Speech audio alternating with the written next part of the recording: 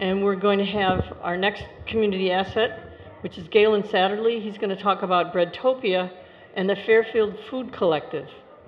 Now, Galen moved with his family to Fairfield from Oregon when he was about five. His K through 12 education was here, and he had two years at the University of Iowa that was interrupted by an opportunity to pursue a successful year in photography. And then that, in turn, was interrupted by the discovery of a passion home brewing of coffee and beer. So Galen went to live, went on to live in Colorado, in Boston, and then in New Hampshire, where he met and eventually married his wife Liza in 2005. In 2014, this small family, now with a three-year-old, moved back to Fairfield to join Breadtopia, a family business founded in 2006. Galen and Liza now have three sons, and Galen is the vice president of operations at Breadtopia and the president of the Fair Food Food Collective, Galen Saturley.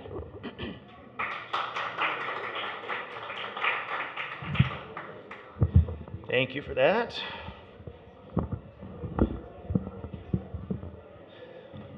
So I wanted to have a big, nice, beautiful PowerPoint presentation um, for this event, but the last two weeks have been insanely busy for our, our company. Uh, it's one of those good problems to have, obviously.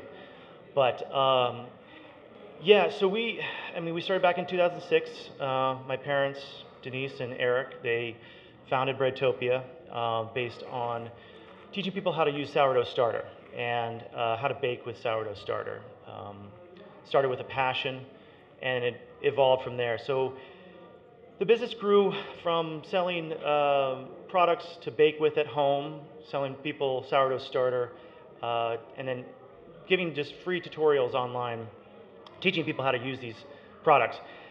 And so the business had just continually grown, grown, grown, grown, and uh, you know they moved the packing of products out of their garage into a small, into a larger warehouse, and then from there a larger warehouse. Then I showed up and I started taking on the uh, photography of the products and the, and um, sourcing the grain and um, operation, uh, the operations of the flour mill. And so our grain and flour business uh, really just kind of exploded. And we had a successful growth year on year, which gave us a, a little more opportunity to uh, find and work with local farmers, as local as we can get, um, and uh, also make connections outside of uh, the Midwest as far as experimental farming of uh, grains and, um, and wheat. So taking this business on, we, we continued to grow, continued to grow, and then we eventually moved into another warehouse in 16 that was much larger, 5,000 square feet. Um, and then uh, I think I convinced them to get an even larger location. Um, and then we eventually bought the building, the old Harper Brush building, uh, at the end of 19. And so we went from 5,000 square feet to 40,000 square feet. And, uh, you know, I was like, okay, well, we got, you know, maybe, I don't know, three, four years before we filled all, this whole thing up. And so then March 13th happened, and everyone got locked down. Everyone started buying as much flour as they could, much sourdough starter as they could, so they can bake at home. And our business quadrupled literally overnight. And so we had to adjust, and we had to. I, you know, I was still installing our, our large flour mill in, the operate in our new building, and uh, we couldn't get our organic certification because no one could come in to certify our, our, our facility.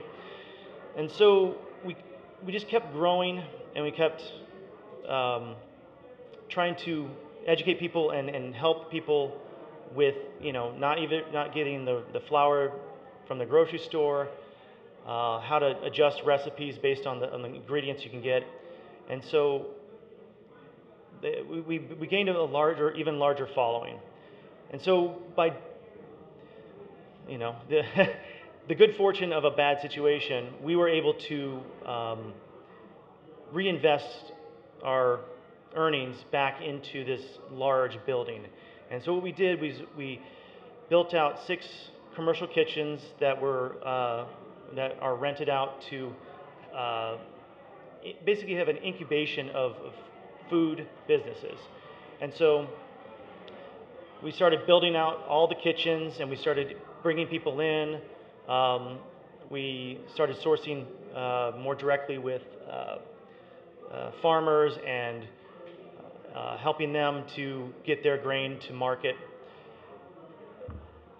And from there, it, it just it just kept happening. And so we, um, we as our as we expanded and we grew, we realized you know we're we're taking on a lot more cardboard boxes. We're taking on a lot more pallets, and so in this do, in doing that, we've adjusted you know our business plan and and figuring out, figuring out how to recycle everything and how to um, uh, take care of all these extra um, you know waste products. And so we've been adjusting as we're growing, and then. Um, well, what else, where else was I? I mean, there's so much going on. It's incredible. Um, so,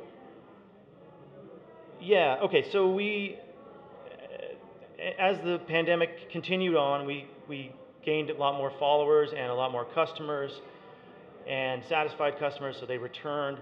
So the, the business kept expanding, expanding, expanding. Um, so we were able to actually uh, outfit the entire facility with um, solar power, and yeah, and so we were when we designed out the kitchens, we made sure that everyone was using electrical equipment in the hopes that someday we would have solar power on this building. And, um, and so, yeah, so just recently we, we converted over to fully solar um, in our facility. And uh, 90% of all our kitchens are rented out to various food producers. Um, there's Taco Dreams that makes uh, street fair uh, Mexican food. Um, Holy Patisserie, which makes croissants. Um, we have homemade ice cream coming in. We have gluten-free baking. And then we also uh, opened up our own bakery, selling bread, um, granola, crackers, and you know, and actually there's a lot more stuff to, that we're coming out with. So we've been, yeah, so we've been incredibly fortunate, and our whole vision behind this facility is to create a uh, community based around food and sourcing as locally as possible, sourcing, uh, sourcing organic, uh, and um, essentially, uh, you know, living by our own our own mission of trying to help out the planet. Oh yeah, that's the other thing. We've been working with so we uh, with our flour mill we have a lot of um, uh, overs, which is just essentially bran flour that's you know collected into the the conicals, stuff that we can't sell and use. So we've been working with the local people to take that material, which is a lot of material, and compost it back in the system. Um, so, you know, we're, we're trying to do, we're trying to be as, as, uh, as, you know, net positive as, as possible with our operation. And we're moving forward like that. And, um, and then we're also going to have um, a lot of events uh, in our public area space where we can have, you know, lectures and, you know, luminaries come and talk about all the things that we're, you know, all the, you know, environmental impact and food security and all of the things that we're, we're trying to achieve. Um, we're gonna, yeah, we start having those events in our facility as well. And yeah, so there is an, uh, yeah, there's a, there's a couple of things, but they're, they're on the back burner. Um, so, well, I mean, no, it's, it's you know, it's, it's the it's the stuff that we've been working. You know, Bob and I have been talking about it, and we've been uh, you know trying to to help out the local gardening uh, movement, um, trying to trying to get a, a, way to compost all of our um, uh, container food containers.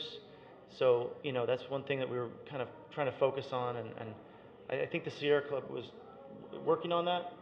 working on that. So, and TerraCycle, yes, and we're and we're hoping to get a TerraCycle drop box in our facility as well. Um, so you know, and the latest thing is we're doing uh, sourdough pizza nights every Wednesday. So drop on by.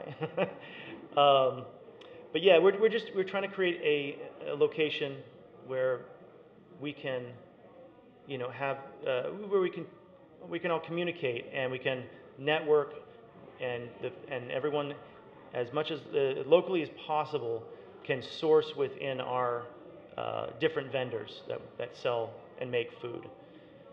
Can you talk about Fairfield Food Collective, or is that? I apologize. Yeah, so there's Breadtopia, which is the online business, and um, that is the, the, the sort of the, the funding of the Fairfield Food Collective, which is also uh, me and my parents' business.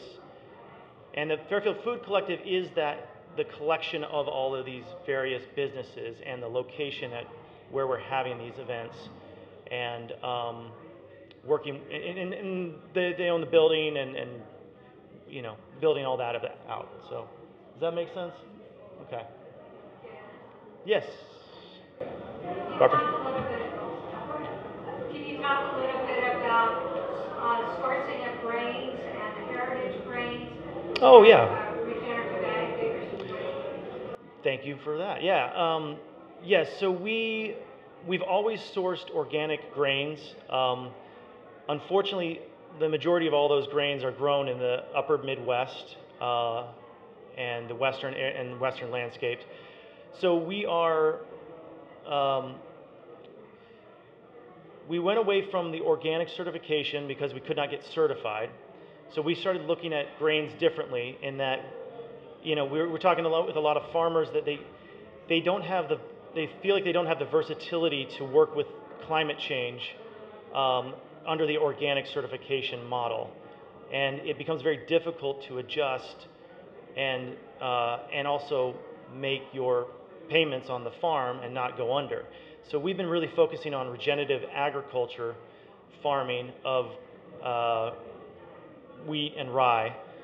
And so we, with doing that, we've been, we found a, uh, several farmers locally, one in uh, western Nebraska, um, a couple in Wisconsin, uh, one in Minnesota, that are not necessarily certified organic, but they are regenerative, regenerative, not certified because they're working on that, but they are able to adjust to the climate change, and they're still um, they're still under the, uh, they're really close to being organically certified, but with those slight little things that they need to, to, to do to adjust to the climate change. So um, the regenerative, it seems to be uh, almost a step beyond organic certification.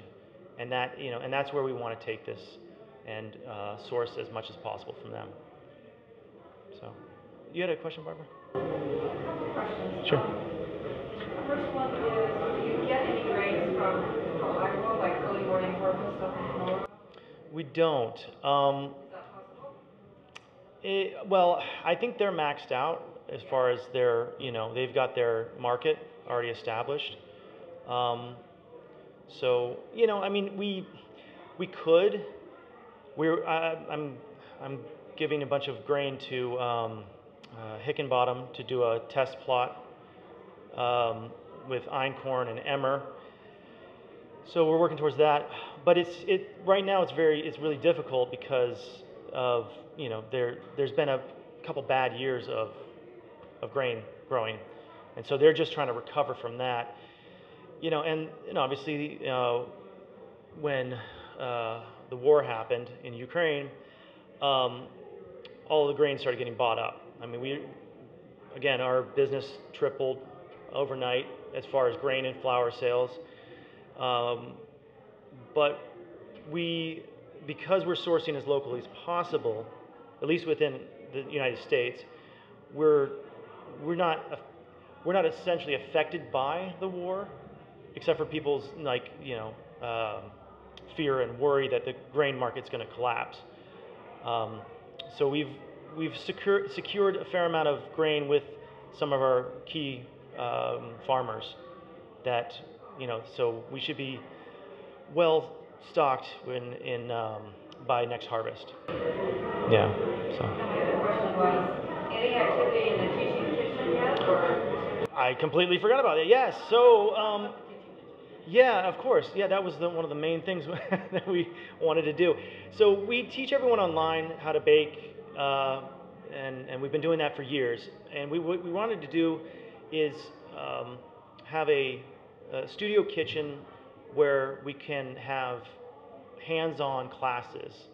And um, we actually just started renovating the upstairs portion of the building so that my mom and dad can move out of the their current office, which is the, going to be the commercial, the kitchen, test kitchen, the uh, studio kitchen that we're going to have all the classes.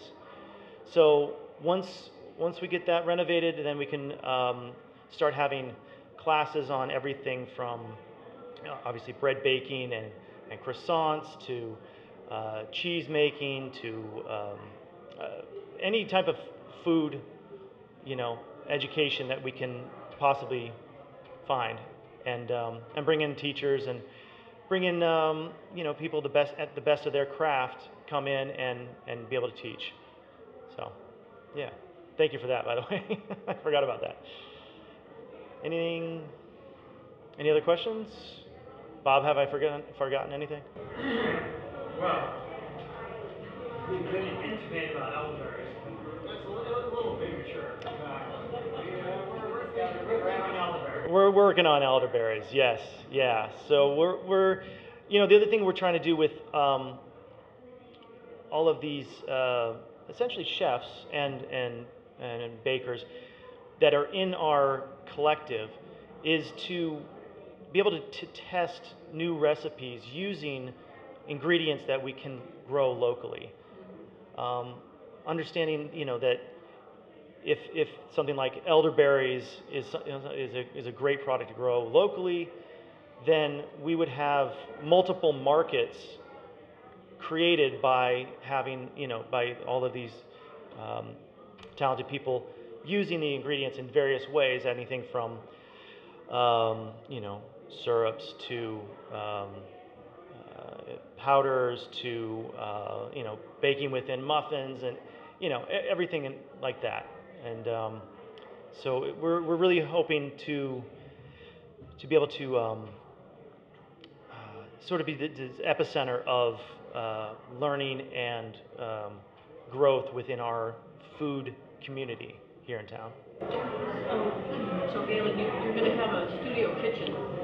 Theoretically, you could film what goes on in that kitchen, Yeah, exactly. put it on your website? Yeah, exactly. So, you know, during the pandemic, we realized obviously we can't do in um, in-person classes. So the the thought is to double the um, kitchen, uh, the, sorry, the, the the classroom kitchen as an AV studio, so we could Zoom meet with uh, anyone that wants to to be a part of that or if you're you know you're out of town and you, and you still want to catch the class, then that's still an option. Let me ask another question.